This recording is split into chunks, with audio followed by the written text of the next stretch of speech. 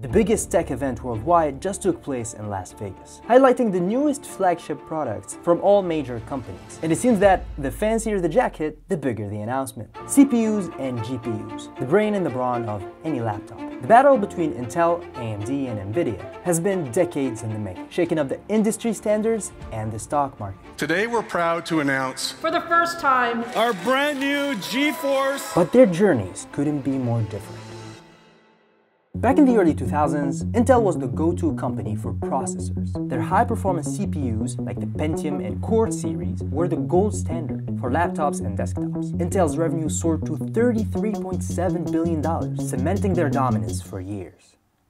Fast forward to 2014, AMD was struggling until Lisa Su took over as CEO. Her leadership transformed AMD from an afterthought to a serious competitor. Check this out. This was AMD's stock price when she was announced as CEO. And this is the stock price today. That's not just a comeback, that's a revolution. AMD is now known for its Ryzen CPUs, and their Radeon GPUs are becoming a top choice for gamers and creators looking for performance without breaking the bank. They've also made big strides in the enterprise market with EPYC processors, which are now used in big tech companies like Meta, Google, and Microsoft. But 2024, oh my god, that was NVIDIA's year. With the explosive rise of AI, the demand for powerful GPUs skyrocketed.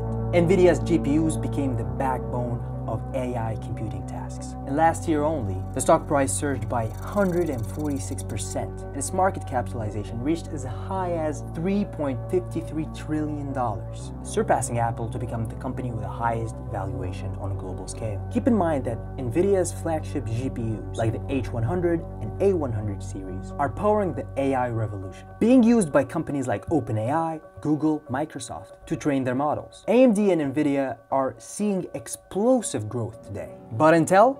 They might be struggling, dominating less of the market share. Their stock price has been steadily declining since last year, with their revenues dropping from $79 billion in 2021 to $54 billion in 2024.